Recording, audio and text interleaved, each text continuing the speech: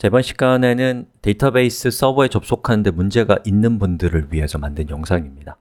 자, 저의 경우에는 자, 이렇게 실행을 했더니 보시는 것처럼 er access deny error 라는 오류가 뜨더라고요.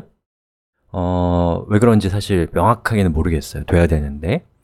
그래서 제가 썼던 방법을 소개해 드릴 거니까 비슷한 문제가 있으시면 그렇게 처리를 하셔서 예, 우리 공부를 해야 되니까, 실습을 진행해야 되니까요.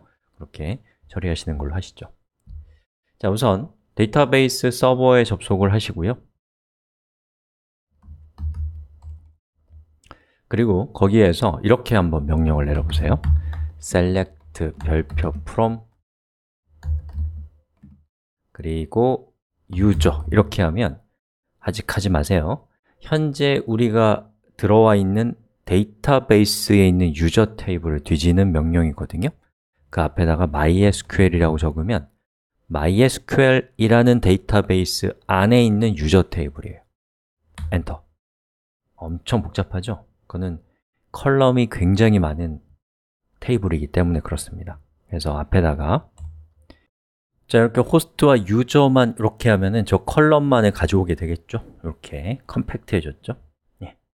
예. 자, 여기 보시면 user는 지금 이 데이터베이스 서버에 등록되어 있는 사용자예요 지금 root와 몇 가지 개념들이 들어가 있죠?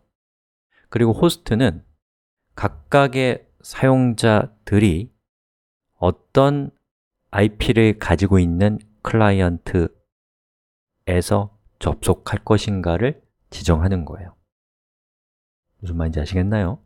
즉, MySQL에는 여러 사용자들이 등록되어서 그 데이터베이스 시스템을 제어할 수 있거든요. 다중 사용자 시스템입니다. 자, 그리고 그 각각의 사용자들은 음, 자기가 사용하는 컴퓨터에 그 인터넷상에 주소가 있을 거 아니에요.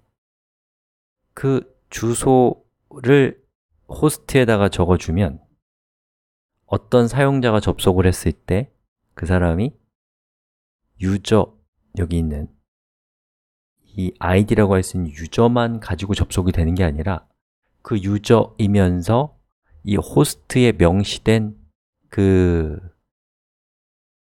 주소에서 접속한 사용자만을 허용하겠다라는 뜻이에요 이게 좀 어려운 개념이라서. 자, 근데 여기 localhost라고 돼 있으면 원래는 이렇게 localhost로 접속하면 root가 접속 가능해야 되는데 이상하게 안 되더라고요. 자, 그래서 이렇게 한번 검색 한번 해보시죠. 자, 저는 제가 쓰는 검색 엔진에서 create user mysql 이라고 검색했고요. 그 검색 결과 중에 하나를 클릭해서 들어가 보겠습니다. 자, 보니까 그 첫 번째로 user를 생성하고 그 다음에 생성된 user에게 권한을 주고 그리고 그 권한을 반영하는 이 3단계 스텝으로 적용되어 있는데요. 같이 한번 하나씩 따라해 보죠 어, 일단은 create user 그리고 저는 여기다가 node.js를 이렇게 할 건데 우리 지금까지 root user로 모든 작업을 하려고 했지만 어, node.js라는 새로운 계정을 하나 만들어 볼 거예요. 이왕 하는 거면. 예. 그 다음에 골뱅이. 그리고 여기에다가 localhost라고 하면 localhost로 접속하는 node.js user를 의미하는데 저는 요거를 퍼센트로 이렇게 하면 어디에서 접속하건 상관없이 그 사람의 아이디가 node.js면 이 사용자에 해당되는 거예요. identified by 그리고 패스워드 이라고 하는 말도 안 되는 패스워드를 입력하고 엔터. 자, 그리고 나서 다시 한번 확인해 볼까요? select user host from mysql의 user 그랬더니 node.js가 추가된 것을 볼 수가 있습니다. 자, 그 다음에 이제 이 사용자는 그냥 지금 아무런 일을 할 수 없는 무능한 상태거든요. 이 사람이 어떤 일을 할 수 있는지에 대한 권한을 주는 겁니다. grant 부여하다, 수여하다라는 뜻이에요. all privileges. 자, 이거는 권한이라는 뜻이에요. 모든 권한을 주겠다.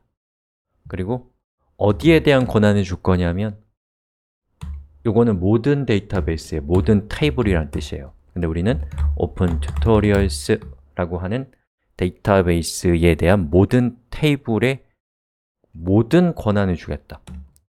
누구에게 줄 거냐? 방금 우리가 생성한 Node.js의 요 사용자에게 주겠다라는 그런 뜻이 되는 겁니다.